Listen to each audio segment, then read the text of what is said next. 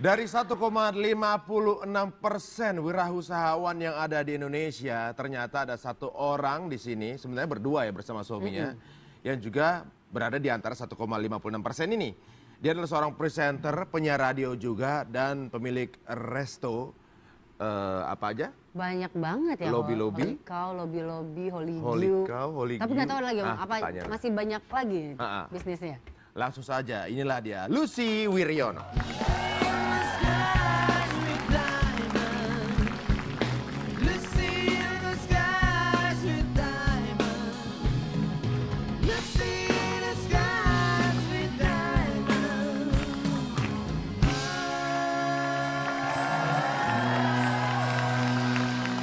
Lucy seorang eh, apa presenter juga, penyiar juga.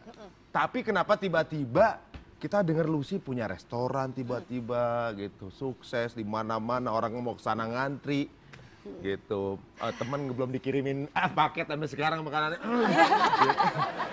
Nah, itu gimana? Ke- kepikiran buka resto awalnya gimana ceritanya? Ya sebenarnya gara-gara suami lah. Gara-gara suami ya. iya kan? Tapi sebelum Oh, iya, pernah nggak sih konsep. wirausaha sebelum jadi resto ini? Eh, sebetulnya kalau eh, wirausaha enggak sih nggak kepengen kepikiran untuk buka usaha sebetulnya sama sekali nggak. Cuman yang aku yakin dari dulu sampai sekarang adalah eh, aku nggak pernah pengen kerja kantoran. Karena aku bosenan banget. Bener. gitu. Heeh. Jadi pengennya apa ya eh, sebuah pekerjaan yang bisa fleksibel. Makanya dari dulu begitu lulus kuliah ada tawaran untuk kerja di kantor nggak pernah mau gitu. Jadi udah deh jadi penyiar radio aja lah. Terus eh, nyasar lah jadi presenter akhirnya. Ketemu Afid yang eh, dia itu justru ya kebanyakan orang pada umumnya lah. Sekolah kerja terus sampai pas kerja itu pas masih pacaran juga dia masih kerja kantoran kan tapi dia bilang gitu gue tuh sebenarnya dari dulu pengen banget jadi pengusaha Hmm. pengen banget punya usaha sendiri cuman nggak tahu apa jadi Hmm. dia sendiri udah nyoba berbagai macam usaha waktu kuliah pernah bikin sok distro distroan kayak gitulah Hmm. gagal terus pas pacaran dia pernah bikin perusahaan semacam trading saham apa segala macam Gagal? bangkrut Ah, sampai gagal juga jadi. juta gagal Yang gagal pacarannya apa usahanya? Usahanya, Usahanya ya? kan kita sekarang kawin nih Oh iya, iya, kan? iya. jadi oh pacarnya udah sama Lucy. Ah, Oh, kira iya. nama yang dulu yang lain. Oke. oke. gitu nah terus akhirnya eh, singkat cerita begitu kita menikah dia bilang lagi gitu kan Hmm. masih tetap pengen punya usaha nih kepikiran waktu itu pengen jadi reseller klip eh, keripik cari-cari ke Bandung Oh. segala macam nggak nemu eh, nggak nemu jalurnya akhirnya layu sebelum berkembang tuh idenya terus akhirnya dia mulai masak-masak segala macam masak steak ya dari situlah lahir si Holy Cow itu akhirnya Oh Karena gitu. passionnya buat masak Betul. itu. Emang udah berbakat untuk masak berarti kan? Eh, contoh yang paling gampang deh, kalau kita sama-sama masak mie instan nih, kan bumbunya sama ya, Iya. cuman punya dia selalu lebih enak daripada kalau gue yang masak. Gue bingung tuh. Soalnya dia masaknya dengan cinta. Nah, buat gue lagi ya, enggak sih kalau dimintain. sama sama aku juga kalau suami sama-sama masak air itu bumbunya suka beda tapi rasanya air ya, maaf, maaf, maaf. emang bumbunya apa aja Iya, air iya, itu ya iya, iya. Kamu masak air bener apa air comberan sih sebenarnya dimasak? Ini pakai bumbu segala ini kan aneh ya Tin, sebenarnya. Dan Tion juga sekarang ini Lucy yang sekarang sudah menjadi seorang pengusaha muda bersama suaminya. Ini menunjukkan bahwa tularan menjadi seorang wirausaha bisa dari mana-mana aja inspirasinya kan. Betul. Seperti Lucy dari suami juga. Tapi ini menunjukkan bahwa mereka adalah eh, jodoh selain jodoh dunia juga jodoh rezeki juga. Tepuk tangan buat mereka juga. Amin, amin, amin. Sejak ketemu ada sesuatu yang baru dan Iya. menghasilkan itu berarti jodoh, Amin. jodoh rezeki. tapi percaya gak sih kalau misalnya kesuksesan juga dari teknik promosi juga kan emang Heeh. sangat berperan besar Itu dia. kalau promosinya itu ini kan unik-unik sebenarnya Eh, Iya dia ini memang Unik, kadang-kadang unik. punya inspirasi. Ya, kita- Lakinya bikin restoran, bini yang bagian ngerjain orang untuk bikin Iya. promosi gitu. Kita pernah eh, pori-pori keluar warna hijau waktu itu gara-gara Lucy Wiryono.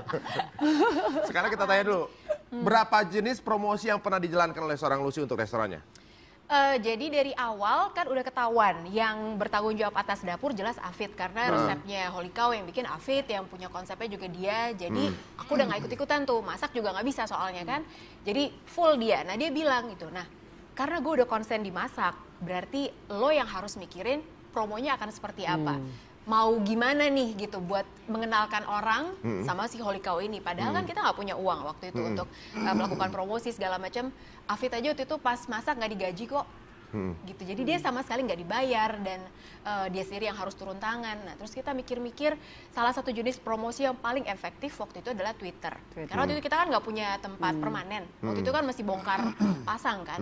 Jadi di Twitter itu kenapa kita pilih? Karena kita bisa ngasih update yang real time yang saat itu juga. Jadi misalnya ada yang tanya stok dagingnya masih banyak nggak? Oh ada sekarang datang. Ya masih ada sekian. Orang kan datang. Oh udah tutup udah habis stok dagingnya. Orang juga pas lihat tweetnya oh ya udah emang nggak ada dan waktu itu memang hampir 90% yang datang ke Holy Cow itu adalah orang yang memang lihat di Twitter. Twitter, ah. gitu dan Twitter itu kita pilih karena bisa dibilang eh, Murah, hampir meriah, zero budget ah, lah ah. ya kan gitu. Hampir nggak ngeluarin biaya apa-apa gitu. Tapi memang untuk memperkenalkan banyak hal itu Twitter sangat membantu. Jadi waktu orang belum familiar sama apa itu daging wagyu itu kita jelasin juga bedanya wagyu sama daging biasa apa sih gitu. Sebenarnya sih yang kayak gitu-gitu aja. Nah di luar itu kita masih menggunakan eh, Twitter untuk kasih quiz Ya. terus sekarang juga ada eh, udah berkembang sih eh, Ri sekarang. Kayak contoh kita punya yang namanya Holy Card. Itu perpanjangan tangan dari Twitter. Jadi orang kalau punya Holy Card itu dia tinggal ngetap ada alatnya gitu tinggal kayak mesin absen. Dia siap datang ke Holy Cow di tap terus udah gitu otomatis tweetnya akan keluar. Saya lagi ngoli kau di camp Senopati Kelapa Gading Kebon Jeruk segala macam. Tergantung dia lagi ada di mana. Jadi seperti itu bentuknya. Nah kemarin siapa yang paling banyak ngetap itu dia diberangkatkan liburan ke Hong Kong Oh. Wih. seperti itu. Eh, itu kita juga ngajak kerjasama sama teman-teman yang lain. Nah waktu itu kita ngajak eh, liburan ke Hong Kong itu bukan kita yang bayarin tiketnya, kita cari airline mana yuk mau promosi nggak. Nah dia ngasih tiketnya, terus kita bikinin paketnya seperti apa, kerjasama, udah deh. Jadi kita sebenarnya cuma menyediakan kerangkanya, tapi kita gandeng orang lain untuk ikutan Link sama-sama. jadi ya. Jadi benar-benar efektif juga dan kita tidak mengeluarkan uang terlalu banyak karena kita banyak kolaborasi sama orang-orang lain. Nah, yang pernah kita ketahui promosi uniknya Lucy adalah dari segi tantangan.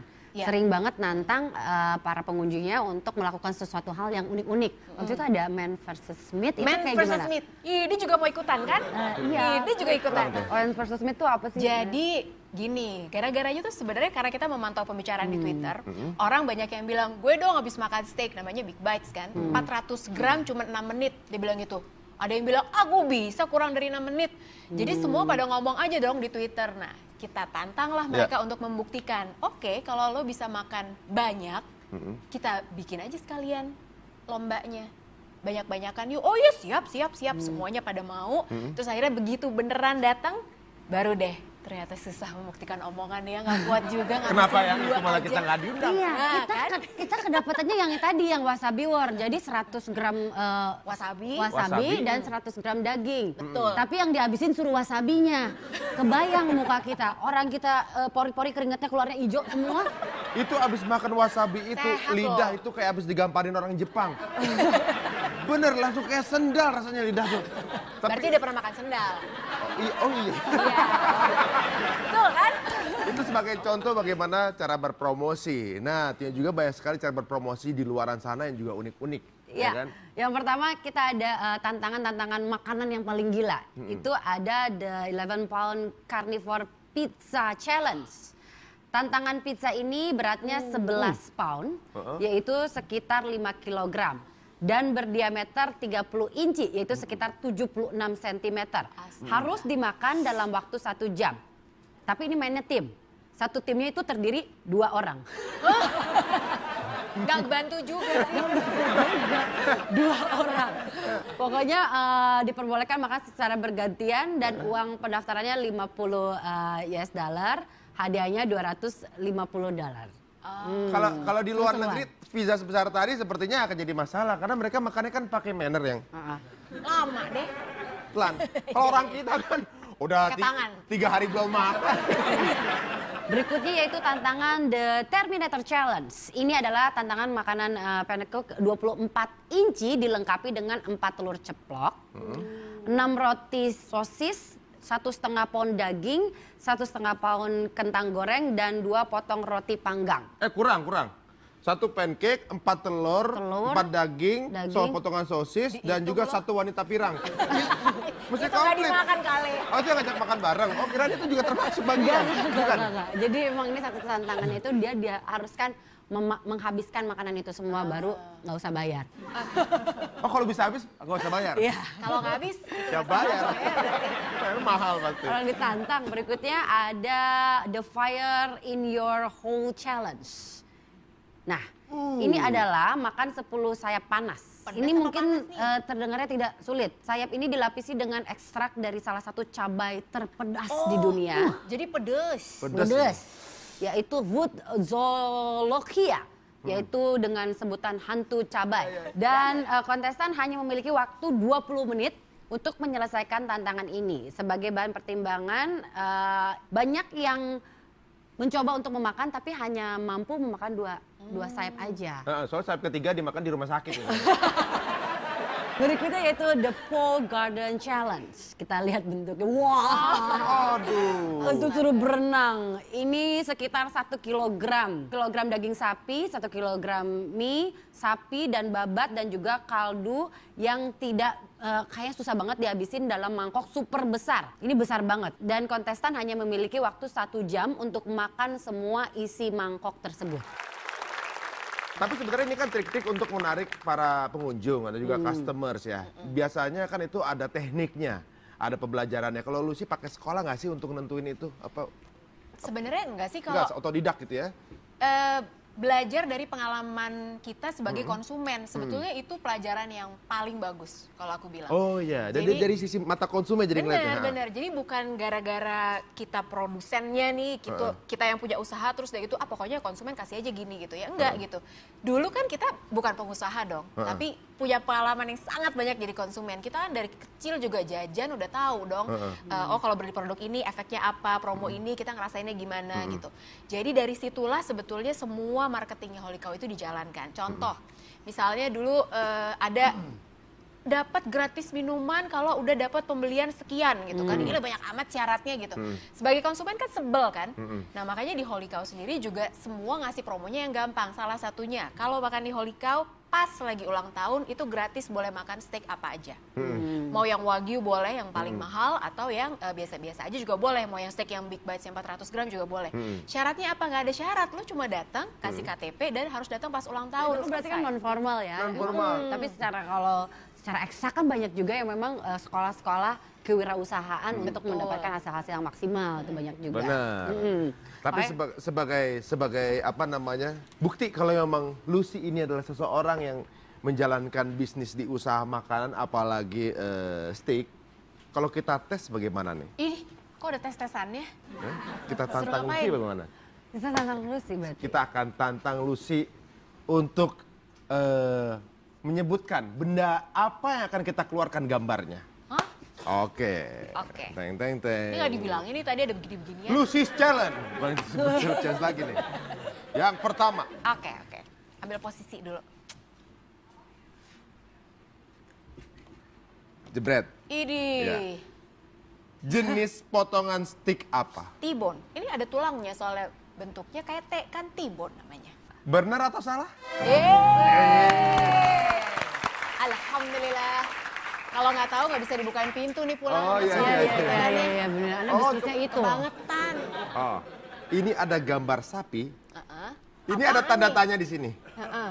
Ya, itu Bagian bagian, khas tanda di bagian situ bagian apa Ya namanya? nggak tahu. Bagian apa biasanya kalau kita pesen ini bagian eh, gitu. Eh, Apa, yuk? Top sirloin apa ya? Apa? Harusnya ini Amfit yang ditanya, gue nggak tahu, gue tinggal makan. Apa?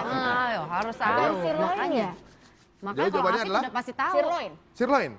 Jawabannya adalah Oh!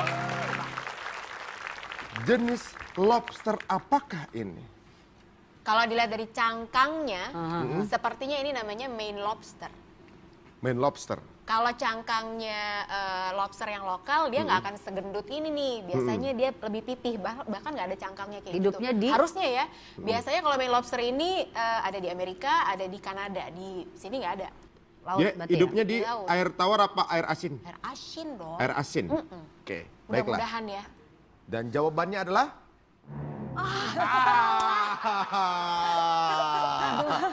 Apa sih Ah. jawabannya? Jawabannya adalah eh, lobster air tawar Ya, belum atau red kenalan, claw. Red ya. Claw. Yang ini dijual nggak di sana? Belum, belum ada. Justru di Lubi Lobster itu adanya yang lobster lokal, memang nggak ada, nggak ada cangkangnya tadi aku bilang. Satu lagi ada yang mirip seperti ini, namanya main lobster, tapi itu merah bentuknya Merah. apa warnanya. Jadi emang cangkangnya mirip seperti ini. Ini Ya, red di- claw juga di sih laut ya? namanya Laut red claw. Oh gitu. Cuma di air tawar. Ini yang Ini lobster air tawar. karena belum dijual jadi nggak tahu ya. Iya, apa Oke. Baik. Banyak sekali hal-hal lucu yang kita akan bahas mengenai dunia wirausaha. Tentunya juga kita akan bahas juga dengan seseorang yang juga hadir membantu kita untuk menambahkan lagi apa yang kurang dari yang telah kita bicarakan. Hanya ada di sini di Tonight Show.